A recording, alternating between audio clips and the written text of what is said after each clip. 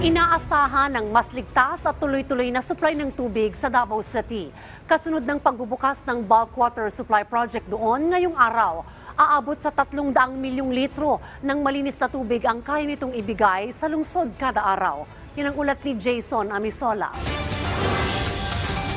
Pinangunahan ni Pangulong Ferdinand Marcos Jr. ang inaugurasyon sa isang bulk water project dito sa Davao City ngayong araw. Alas 9 pasado ng umaga, dumating ang Pangulo sa Apo Agua Water Treatment Facility sa Barangay Gumalang sa Davao Bukidnon Road.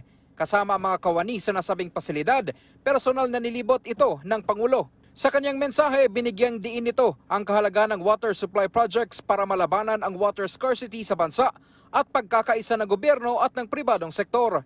Anticipating problems instead of letting them catch us by surprise is how we approach these challenges in the Bagong Pilipinas. We prepare for contingencies to solve problems and diffuse potential crises before they occur. We dream of building a nation of our children that proudly inherit, that, can, that, our, that our children can proudly inherit.